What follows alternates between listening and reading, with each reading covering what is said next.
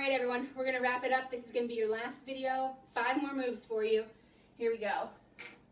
We're gonna start with a high plank shoulder tap. So you're in high plank position. You can even keep your legs a little wider than normal. And you're just gonna tap to your opposite shoulder.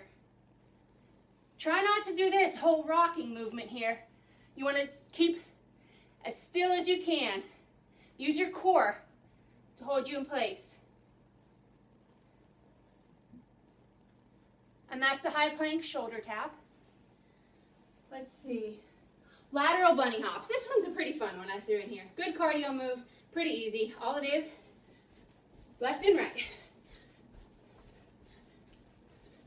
Keep your legs together, back and forth. I think you guys will like that one. Penguins. It's another ab exercise for you. So all you're going to do on this one is you're going to reach and touch your heels on each side. You're going to feel this in your obliques.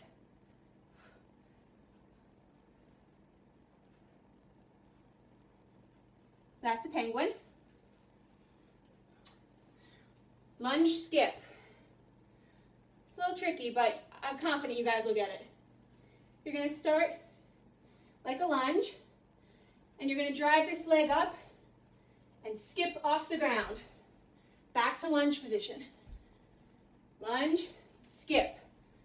Lunge, skip, lunge, skip. For this one, on your first round through, stay on one leg. It's really hard if you try to balance switching legs each time. You'll have each exercise at least two times during each workout for the day. Go on one leg on the first one. Then when you come back around, hit your other leg. Last one, squat kick. Pretty much like the name implies. Squat, kick, squat, kick.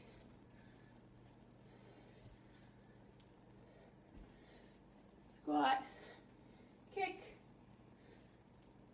If you want to take this one up a notch, jump at your kick.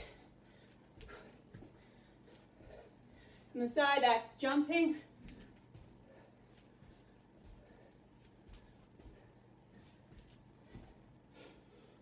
All right, that's all the 15 moves you're gonna see this month. I hope you guys enjoy this challenge. As always, if you need extra modifications or have any questions, you know where to find me. Good luck.